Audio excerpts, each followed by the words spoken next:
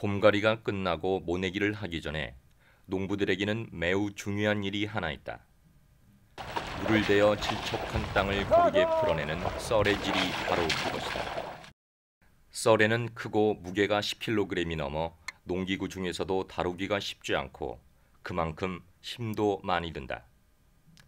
썰에는 쟁기와 같이 소에 매어 사용하는 도구로 멍에를 소의 목에 연결하고 앞에서 끌면 뒤에 매단 썰의 발이 땅을 고른다.